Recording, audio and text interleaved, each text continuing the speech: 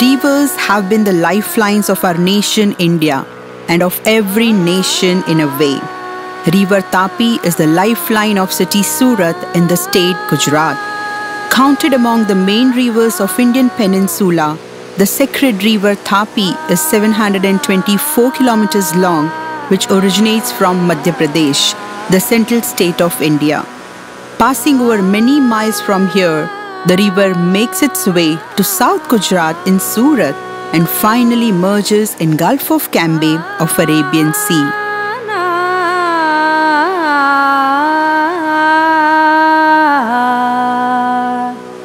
ah, ah.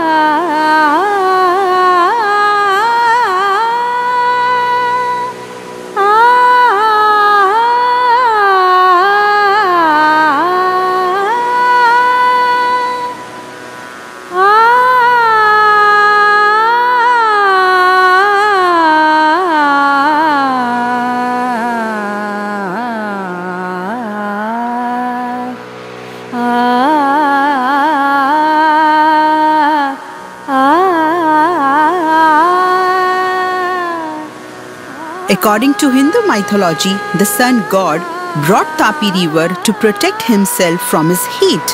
There is also a mention of this river in the epic Mahabharata and Puran. From ancient times, rivers are worshipped irrespective of caste and creed in India. This river Tapi, in its glorious days, impressed many great people from all over the world. King Vajiravudh of Thailand named his city as Surat Thani, impressed by the Indian city Surat and its glory.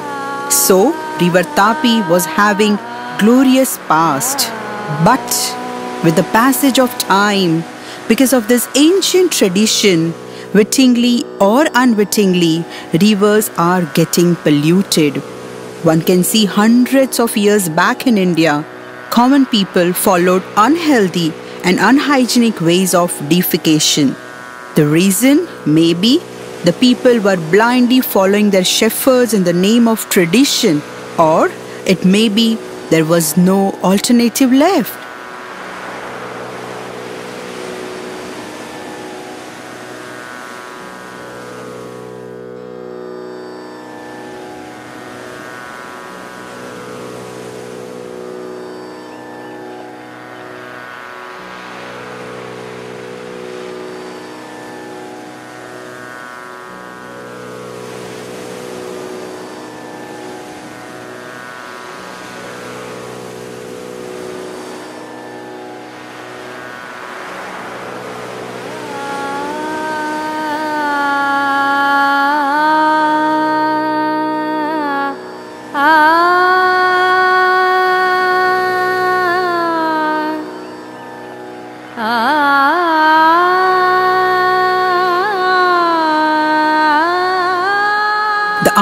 Is that while purifying their own body and soul, they pollute the river itself.